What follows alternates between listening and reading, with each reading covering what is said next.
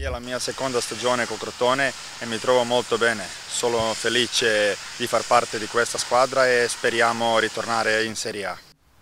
Indossare la maglia della mia nazione è stata un'emozione fantastica, eh, veramente unica e ringrazio il Crotone perché mi ha dato la possibilità di mettermi in mostra. È iniziato un nuovo anno e col mister stiamo lavorando molto bene con tanta intensità, stiamo seguendo do, do, giorno dopo giorno le sue indicazioni e mi sta dando tanti consigli e mi trovo molto bene.